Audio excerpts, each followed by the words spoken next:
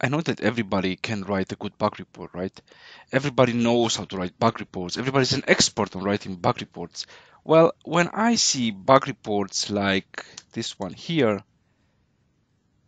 I freak out. I mean, how, what, where, why? If you would get such a bug report or if you would write such a bug report, what are your expectations? Nobody can start anything with this. And I've seen this happen. I've seen this happen recently, and this is one of the reasons why I'm making this video. So I'm going to show you or present to you five tips with common sense. Um, five tips that I took from an article of a friend of mine, and I'm going to show you the article at the end. So if you follow these tips plus what he also has there, then there's no way your bug reports will be bad. So the first tip, the title. The description should be clear. You cannot write something like checkout error. Yeah, you need to be more to the point. You need to be able to understand from the description what's what you are going to see in the bug. So for example, if you say unexpected exception thrown upon clicking the checkout button in Firefox, this is clear. This gives you context, you know where to look for, and you know who from the developer team can actually start to have a look at it. Steps to reproduce. I know this is, again, something you all do. I totally agree.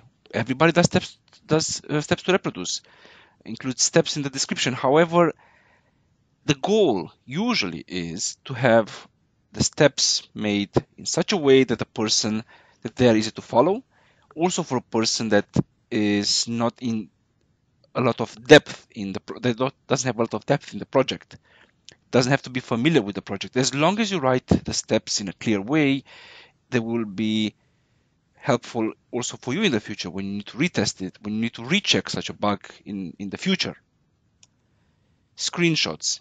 I know it's clear and again everybody knows, yeah, you need to add screenshots, but what screenshots? I mean, you don't need to shoot it like this, yeah?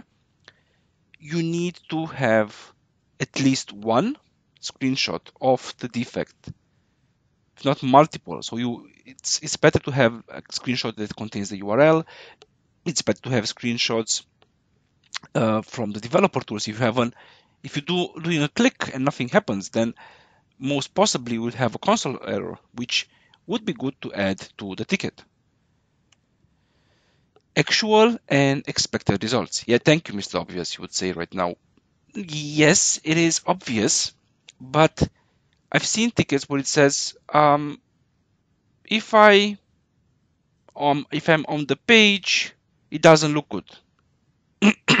okay, that's a little bit subjective. Um, you need to write what because if you write something like this, crashes and doesn't crash, yeah, okay.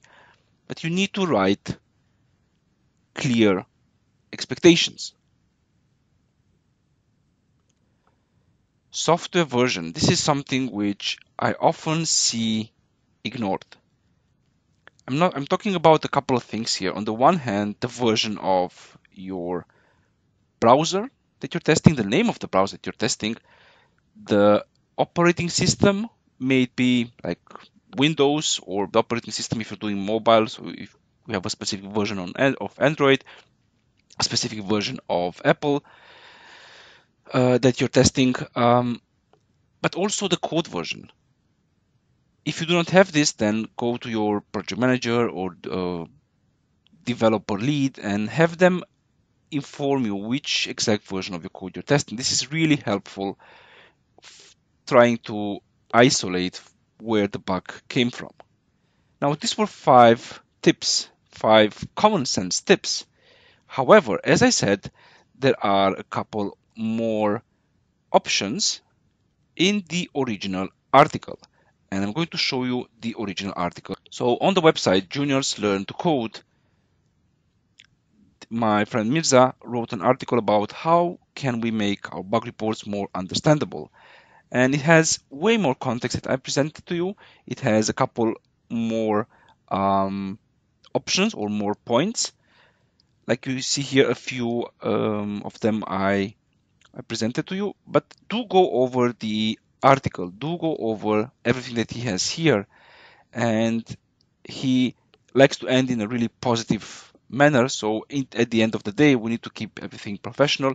I know we are all professionals. I know we are all we all want to do our best in in the job, but sometimes going back to the basics helps us because we tend to forget. We tend to we have pressure. We have time issues, and have a look at the article. Have a look at the article. I'm pretty sure if you follow everything that is in the article, you will have no issues with your bug reports. Everybody will understand them. You will be more happy. It will bring a positive and a better attitude to the team. As always, thank you for watching the video and I will see you in the next one. Have a good one and bye bye.